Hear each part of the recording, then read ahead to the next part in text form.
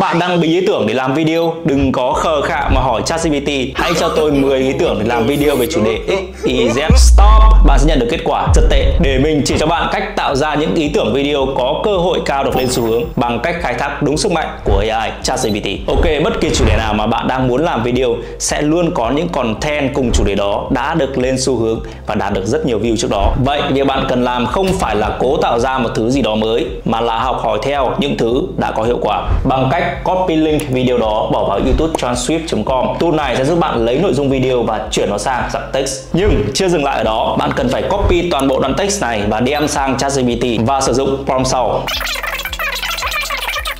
Ok, pom hơi dài nên bạn có thể cắt màn hình lại hoặc là comment ABC, mình sẽ gửi nó cho bạn. Sau khi điền pom xong, bạn hãy mở ngoặc ra và paste nội dung video bạn đã lấy được vào. Lúc này, ChatGPT sẽ đưa ra cho bạn 10 ý tưởng mới dựa theo chính nội dung đã hiệu quả của video đã lên xu hướng mà bạn đã lấy để làm ví dụ. Cuối cùng, bạn chỉ cần chọn ra một ý tưởng bạn thích trong số 10 ý tưởng này. ChatGPT sẽ bắt đầu đưa ra thêm những cái bố cục của một kịch bản video ngắn hoàn chỉnh. Nhưng bạn có thể bê nguyên kịch bản tạo bởi ChatGPT này để làm video luôn không? Tất nhiên là không bạn vẫn sẽ cần phải chỉnh sửa sao cho nó hay, hoàn thiện và thêm các yếu tố cá nhân của bạn vào. Nhưng ít nhất thì với cách này, bạn đã có một kịch bản video có cơ hội cao được lên xu hướng dựa trên những video đã hiệu quả. Như vậy, nếu